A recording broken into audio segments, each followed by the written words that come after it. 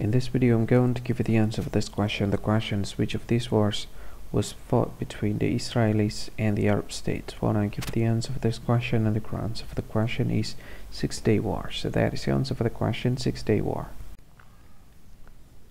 Hi, thank you so much for watching this video.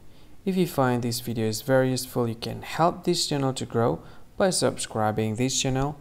Please this subscribe button and don't forget to like this video.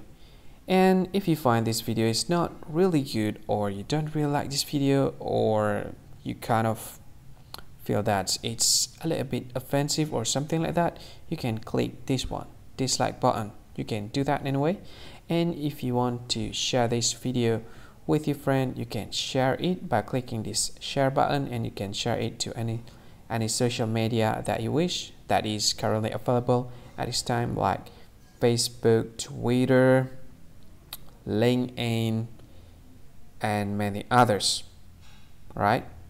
And if you want to add this video to your playlist, you can click this one. You can watch this video later and you can find more options by clicking these three dots.